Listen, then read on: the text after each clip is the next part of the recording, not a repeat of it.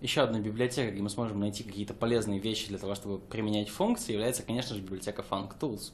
И мы рассмотрим, пожалуй, главную функцию из нее, которая и делает ее такой замечательной, это функция partial. Функция partial позволяет нам запомнить некоторые аргументы, с которыми мы хотели бы вызвать функцию, и возвращает нам функцию, в которую нам эти аргументы передавать больше не нужно. Давайте рассмотрим самый простой пример.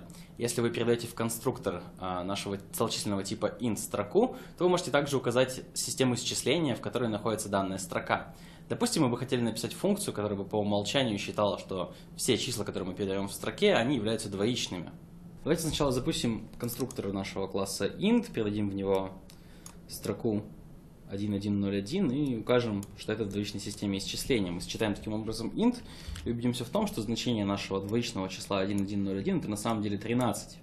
Однако мы хотим написать функцию, которая бы принимала аргументом лишь одно число, а делала бы на самом деле то же самое. Она бы вызывала функцию int и указывала явным аргументом base равным 2. Для этого нам нужна функция partial из библиотеки functools. Мы можем указать, что нам нужна функция с уже частично примененными аргументами. Давайте мы назовем ее int2, мы скажем, что это partial, она принимает всю функцию int, и она принимает аргумент base равным 2. Тогда, если мы попробуем написать, что x равно int 2, наша строка 1101, затем вывести x на экран, то, как ни удивительно, мы увидим тот же самый вывод – Таким образом, мы можем сказать, что функция partial берет функцию и частично подставляет в нее какие-то из аргументов, при этом возвращая нам новую функцию, в которую больше эти аргументы подставлять уже не нужно.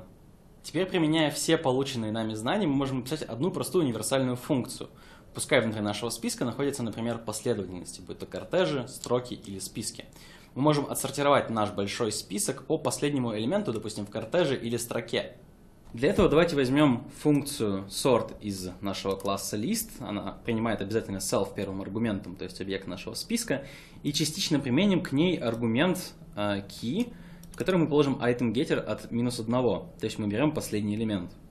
Теперь давайте наш код запустим и убедимся в том, что при первом запуске нашего кода имена внутри нашего списка были в оригинальном порядке, в таком же, как они указаны выше. А после сортировки с помощью функции sort by last мы действительно сортировали их по последнему элементу в кортеже, то есть в нашем случае по фамилии.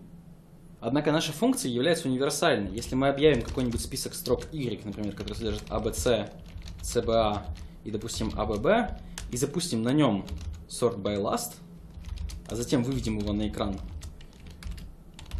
то мы также убедимся в том, что мы смогли отсортировать наш список, который содержал строки, по последнему элементу в строке, то есть по последнему символу. Сначала у нас следует строка, которая заканчивается на А, затем у нас следует строка, которая заканчивается на Б, и затем у нас следует строка, которая заканчивается на С. В данном уроке мы с вами рассмотрели некоторые подходы и некоторые библиотеки, которые мы можем использовать при так называемом функциональном подходе. Мы с вами считали, что почти все является функциями, даже конструкторы типов, потому что мы можем их вызвать и передать туда аргументы и получить какое-то значение обратно. Как мы смогли с вами заметить, некоторые вещи мы можем написать с помощью функционального подхода достаточно элегантно. Однако они требуют дополнительного понимания того, что мы передаем функции внутрь функций, и некоторые функции даже возвращают функции.